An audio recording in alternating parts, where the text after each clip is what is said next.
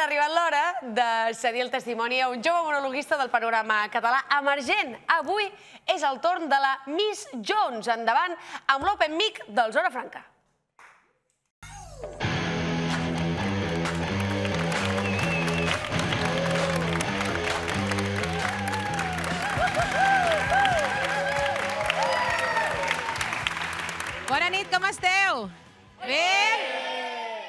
Molt bé, jo sóc la Miss Jones, jo sóc la mare de dues nenes a les que estimo molt quan dormen.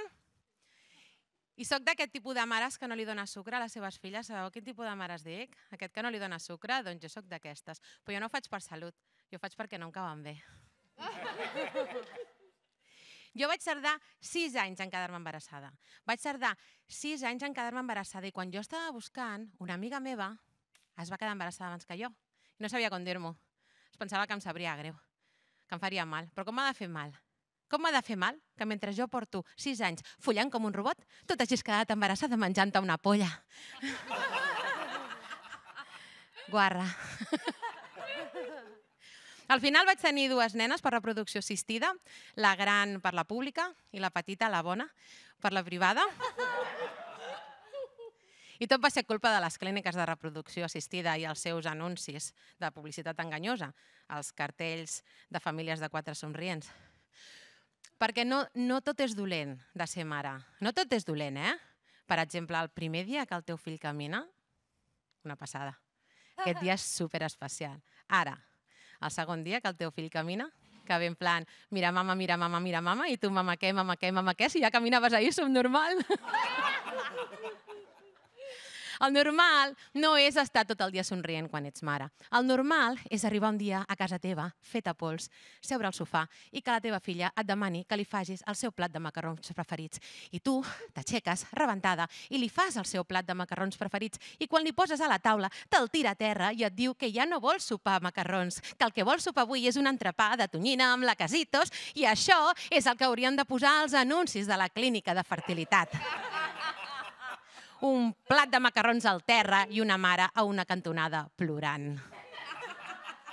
Si tu vols saber el que és la maternitat, no miris els anuncis de les clíniques de fertilitat. Ves a la porta de les escoles a les 5 de la tarda i mira la cara d'aquella gent.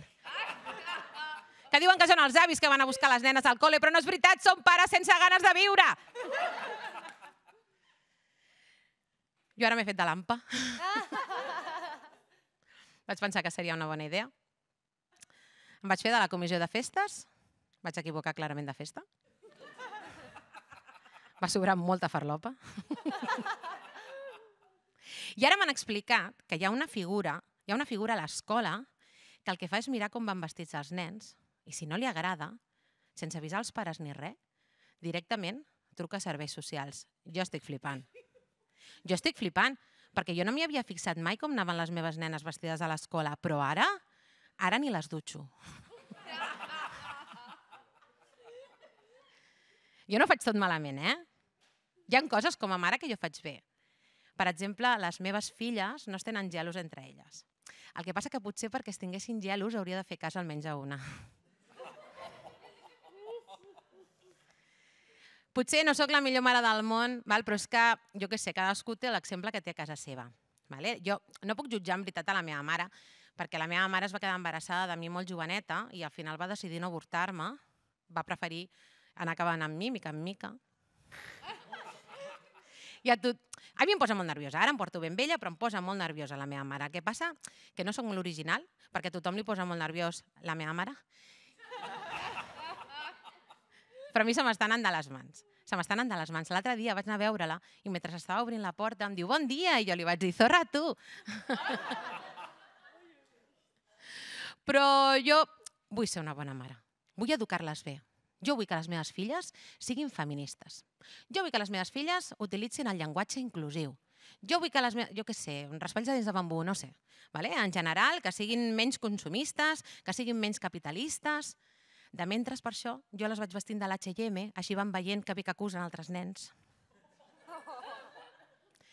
I és que ho estic intentant, eh, per això, però sóc molt mala mare. Sóc molt mala mare segurament sigui la pitjor de les mares. Jo estic ja gairebé, gairebé, gairebé al nivell de qualsevol pare. Bona nit! Gràcies!